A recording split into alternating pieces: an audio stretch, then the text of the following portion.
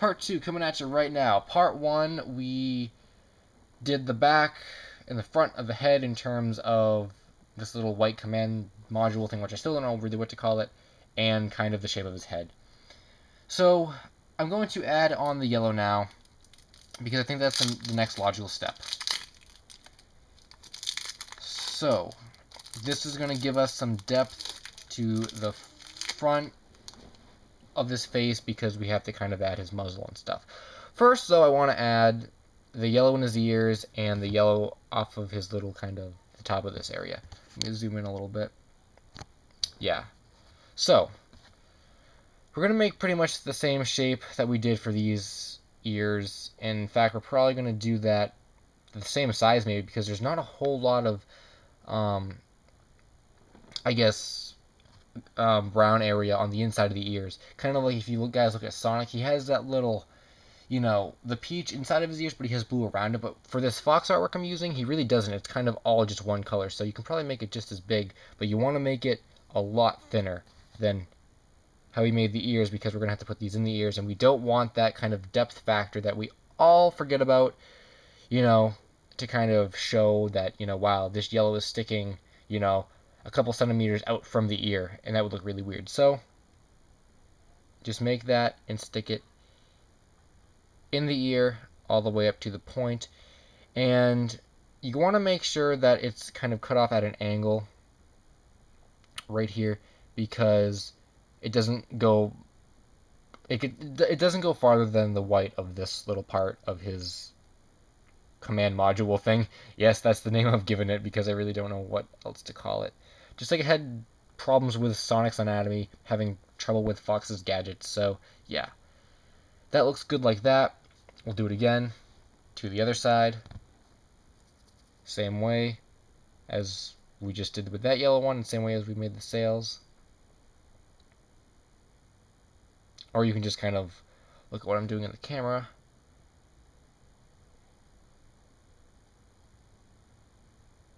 Like that. hopefully you don't have too much kind of overbleed at the top or whatever. You want to make sure that uh, it doesn't really extend much farther than, you know, the brown from looking at the backside. And then make sure it doesn't go past this white mark. And there we go. There is the beginning detailing for Fox. We're going to add on that little triangle at the top now, which is really easy. Really easy way to make a triangle.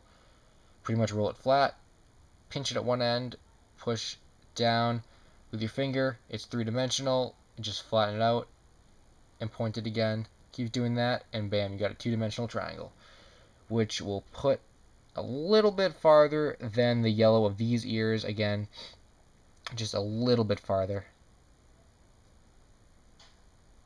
But kind of like that.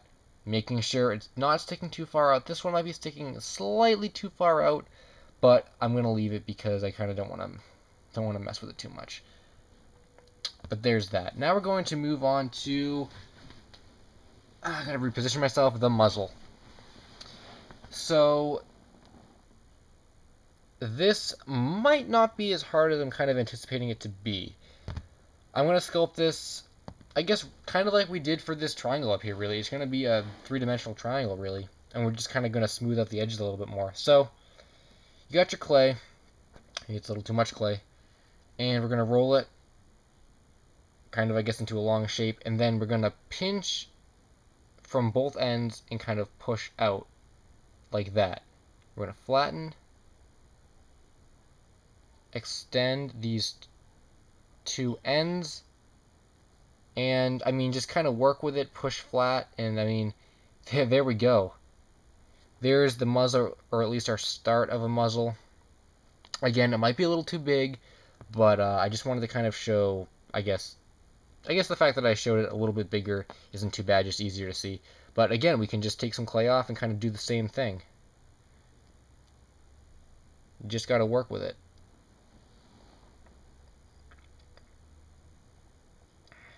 Making sure, though, that you have an equal number, or not equal number, but um, equal amount of clay on this side and that side, because it would be really weird if, you know, the center point of the muzzle was was over to one side more so than the other. That'd be kind of weird. And then simply we're going to just kind of again put it on probably the start the top of the muzzle being at the bottom of the little command module for both sides like that. And now this might be a little bit tricky. We're going to kind of pull down with our finger because the, the clay is really flexible so you can just kind of pull it down uh, until maybe about halfway at the bottom of kind of the head because this kind of does wrap around Fox's head. Now the other difficult part is doing that for the top, but we'll just pull a little bit and kind of push up like that. And that actually created some really nice uh, depth for our kind of 64-bit style. So, again, kind of a happy accident. Props for happy accidents.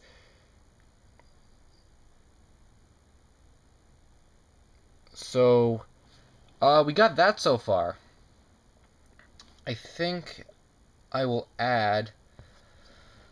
Um, I think I'll add the eyes next. I'm afraid I'm going to do the nose and then have to play with the face a little bit more, so we'll do the eyes. Really kind of thin piece that you just roll rather straight. I guess you could pinch one of the ends and kind of use your finger after you hold it and kind of push up to create kind of a thicker slope at one of the ends and then just shape it a little bit over like that. Make sure it's not too thick though because his eyebrows are thick at one end but not the other. Might pull a little bit of that off and you're gonna have to really use uh, good judge. Bleh. I kind of mumbled that. You're gonna have to use good judgment here because you have to account for all the detail we put on already and the fact that he has two eyes. So you want to make sure you got enough room. I think putting it right there should be fine. Kind of play with the eyebrow on his head, but yeah, something like that.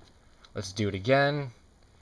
It's one of the things I hate about clay models is you do something so good the first time and then you have to do it again because most clay models or most characters I sculpt and stuff have two eyes, two ears, and you know, all that kind of stuff, so it can get really tedious.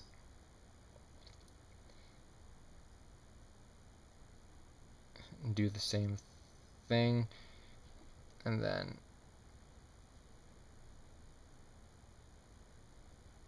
simply put it on at around the same kind of area as the first one. Again, we want to make this look as symmetrical as we can. So, there's that. And now this actually does look really weird right now because we got to put the eyes on, but it, it does look really weird. So the eyes, I think this is going to be really easy. And another precautionary note is this yellow actually is kind of getting into the white and stuff. So again, be careful of that. All we're really going to do is make a circle and then flatten it at one end to create that half eye effect because um, the artwork kind of has, you know, Fox doesn't have, you know, his, his whole eye open. It's Some of it's covered by the eyebrow. So we'll do that. Stick it in there. Maybe make him look a little bit more mean. Not really, but just a little bit. And then we'll do it again.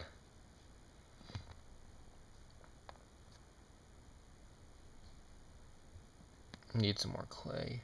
So yeah, hopefully, I know I did say we were going to sculpt this in the 64-bit, and hopefully as we get kind of down the body, um, that's kind of when the polygonal shapes take shape, no pun intended, uh, a little bit better. Because the head, again, it kind of gets uh, difficult with all, with, I don't know, kind of all the detail and trying to, you know, really shape it up. So, trying to keep it the same size, same everything.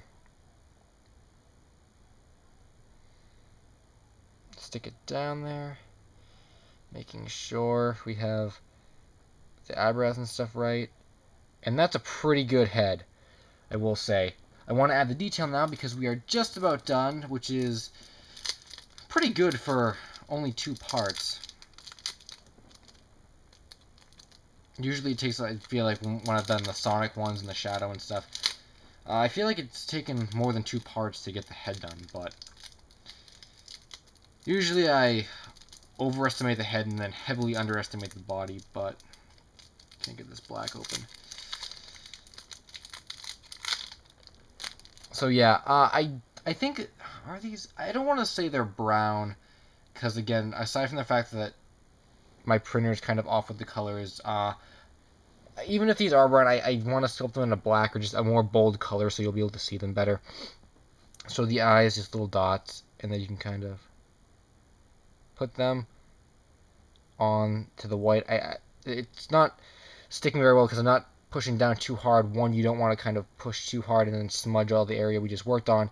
And in case this doesn't look too good, I kind of want to be able to take it up and reshape it. So it takes a little practice.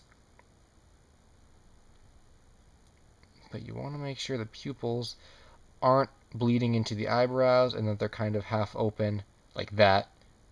You know, just like the eyes. You want to make it look good. We'll do that again. On the other side.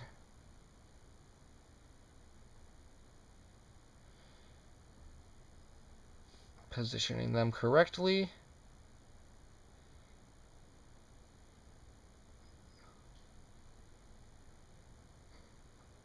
Just trying to be perfectionistic with this. Like that. We're going to do the nose, which is kind of like a triangle, how we made the triangle, except it's a little bit more straight on the sides. A little bit more rounded. Maybe like that. Mm, I'm going to push the nose up a little bit. I think the nose should be pushed up a little bit, and I'm going to make it a little bit bigger. I feel like the Star Fox 64 artwork at least has kind of like a a larger nose.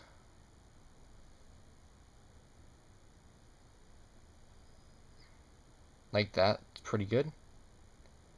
And it sticks out. Well, the muzzle does at least. And now finally, aside from the fact that I feel the need to fix these eyes a little bit, I'm going to put the mouth. And he kind of has this long wraparound mouth. So it's definitely good, like I said, to kind of work from the larger shapes down to the smallest detail for each part. And this part being the head. So yeah just roll out a really thin piece. It helps if you do this all in kind of one go and you don't run out of clay halfway when you're putting the mouth on. But start at one end. You want to kind of have it curve at just the right spot. But, huh, didn't really get that in the camera. I'm kind of working a little bit higher than I should be. Here, I'll show that again.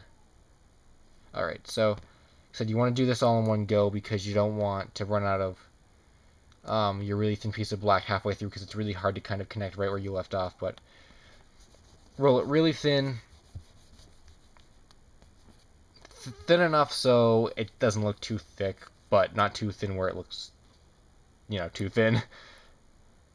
Turn Fox this way and just kind of start the mouth. I guess wherever you kind of see fit, but you want to make sure that it kind of curves with the muzzle and you want to make sure that there's kind of a point right where the nose is because we don't want kind of a lopsided mouth. Then I'm just kind of going to do that.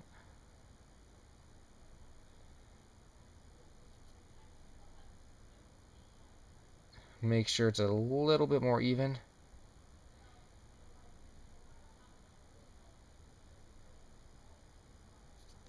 Don't get any of those black pieces into the yellow. Again, sorry if I'm being a little bit too perfectionistic, but I just want it to look good. You can probably push it down a little bit just to make sure it's not going to come out.